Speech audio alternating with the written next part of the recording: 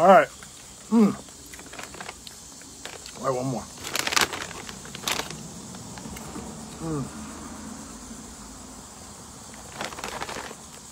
Hmm. Hmm. Hey. All right. Five health hacks. If you suck at losing weight. There's so many hacks, so many hacks, but I'm going to give you five. And this is only if you suck at losing weight. Listen, if you if you just came on here and your things are going well and you're doing great and you're losing weight or you've lost weight and you're in great shape, this message isn't for you. But if you're like I find myself sometimes when I'm digging in a bag of chips, um, suck at losing weight. Fortunately, I know what to do, and I'm not going to let beat myself up. But I'm going to give you five hacks. Oh, well, first I got a little crumbs. Hold on. Five simple health hacks. Number one, first and foremost, put down the freaking bag of chips. That's it. And and here, let me see. Do these look familiar? What do you do with these, right? First of all, you have these because you know, like, well, I really want to eat the whole bag, but I'm only to have a few. I'm to do this. I'll put the chip clip on, like that. Hey, put that on. Yeah. Really? You don't, this is not what this is for. Put that over there. You know what this should be used for? This right here. This is what it should be used for. when you're feeling snacky, go get your bag of chips with the chip clip on and then go ahead and put this on there because I'm having fun. Let's have some fun. But first, number one, put down the freaking bag of chips, right? Number two, which goes back to number one, is keep the snacks out of sight and out of mind. Well, I'm really going to be on here. Again, this is not to to uh, to badger you or anything like that. I'm just sharing with you legit what just happened to me. I was hungry. I was real busy. I didn't have lunch, and I saw those snacks in there. Um, you know, those came from like the airlines, like the small bags, and that's why I think Pop Secrets or whatever Pop thing. Anyway, I don't make any money off them, so I'm going to share with them. And they say that they're healthy because they're non-GMO and they're popped and blah blah blah. But they all seem to have the same amount of calories, same amount of fat. They just do a really good job marketing. Number two, keep you if you suck at losing weight, here's what you need to do. You need to keep the snacks out of arm's reach. In other words, keep them out. Now, the hard thing is, well, I got here's the thing. This is your sellout. But I got kids. I got teenagers. They need snacks. And you know, I'm not gonna throw my wife under the bus, but I tend to go with a list, and I try not to go and bring home a bunch of snacks.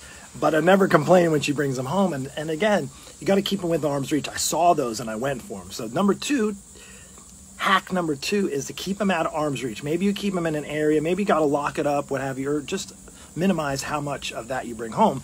And that actually goes to number three. They're all kind of work hand in hand. Number three is don't I wrote these down just so I wouldn't forget. You gotta get excited if you haven't noticed on any of my lives. Eat not after you go grocery shopping. Let's let's just I'm to say that again. I might have said it uh, in some other times. Hack number 3 is you got to eat before you go to the grocery store. You got to eat. You got to have something to eat. Even if you're going to go in the middle afternoon, trust me, you're going to be snacking for those chips and then you're going to go down that chip aisle by the way, which is an entire aisle in most grocery stores, which blows me away. Entire aisle of a grocery store is all chips. And another aisle an entire aisle. You know, you shop at the same stores I do. The entire other aisle is is cereal. Isn't that crazy? So maybe you just need to stay away from those. But if you're going to go to the grocery store and you got to shop for food, don't go when you're hungry. Don't go when you're after eat. In fact, maybe after dinner would be great, or after lunch, or maybe in the morning after breakfast if you're able to do that, depending on your schedule. That's number three. Number four. This one's a this one's a good one, and this is just a simple hack. When you're making food at home, chances are you've been in lockdown and maybe you just learn how to cook more for yourself at home, use a small plate. I never really understood the salad plate, right? Like who uses a salad plate? Use that small plate. You know it's been stuffed in a corner up in your pantry or in your cupboard somewhere. Cupboard? Somewhere. Something I think they call it that. in your pantry, wherever I have your dishes. And take out those salad plates that you don't really use because nobody really uses salad plates anymore. I don't know if you do. I don't. We haven't. I don't think since we've been married use those small plates. That's what you should. When you're having dinner, that would be a great hack. Just to have a small plate because then you're not going to be really tendency to fill your plate up. Because then what if you fill your plate up? Then you tend to clean your plate. Maybe that, I don't know if that resonates with you either. Number four, number five, this one's the most important thing. Don't beat yourself up. Don't beat yourself up over it. That's the worst. As you can say, ma'am, I'm snacky today. I want chips.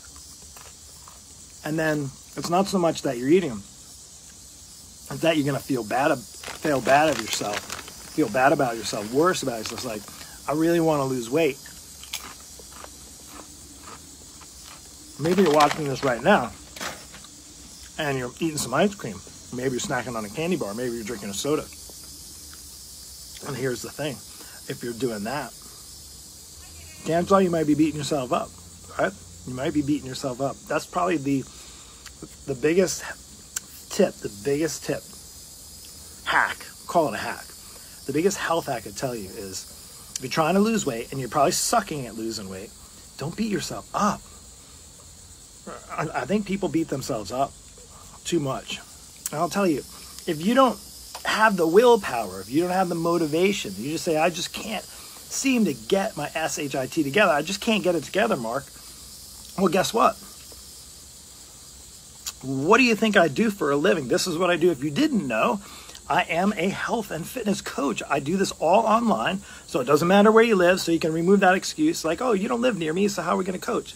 It's completely online. I've been I've been a health and fitness coach for the past 25 years in person, in the gyms, have my own gym, in people's homes. I've done all that. It's truly, hands down, the absolute best. What I'm doing now and helping um, men and women, primarily men and women that are over 40, who want to lose weight, who maybe suck at losing weight, but really want to lose weight and they want to do it without long workouts and impossible diets. And why long workouts and impossible diets? Because that's what I hear and see people time and time again think they need to work out for hours and hours and hours.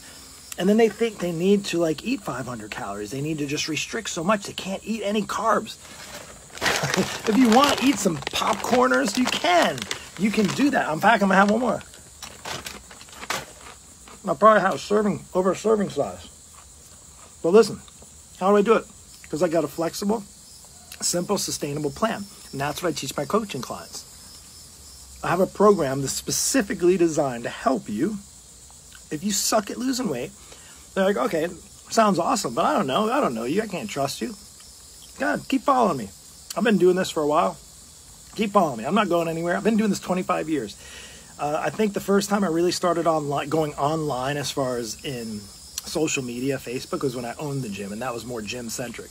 But I've been online now for the last two or three years. Maybe you've been watching. Maybe you've come back like, oh, he's still doing it. Yep, I'm still doing it. I'm passionate about it, and I have success. Do you think I'd be able to do this if I if I just did it pretty much for free? Like I couldn't afford to live where I live or pay the bills or put popcorners in my hands so I can eat them, right?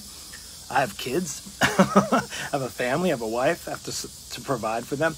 If I wasn't successful in what I've been doing, you think I'd be still doing it after 25 years? No. So if you suck at losing weight, and the list here, if you can't put down the freaking bag of chips, if you can't keep the food out of sight and out of mind, if you have no idea how to shop, like, okay, I'm going to go to the grocery store after I eat, but I don't know what to shop for. I don't know what I should buy. Do I, can I eat bread, Mark? Can I, oh my gosh, can I have some cereal if I want? to? Is it okay to have some ice cream? Yes, yes, and yes. You can have all those things. It just, you have to look at the bigger picture, right?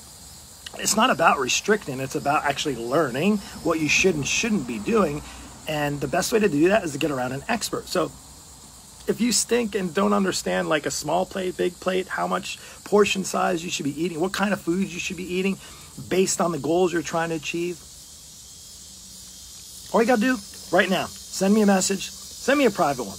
Actually, right now, say, I want help. Just put it down in the chat below. Say, Mark, I want help. I'm going to put the link to where you can book a call with me 10 15 minute call and listen i'm going to say this if you're listening right now if you're not serious please don't waste my time i don't want to waste your time because i am looking for serious people who want to make serious change who are ready Not like, oh, I kind of need to lose a little weight. Come, yeah, maybe I could, maybe, yeah, yeah.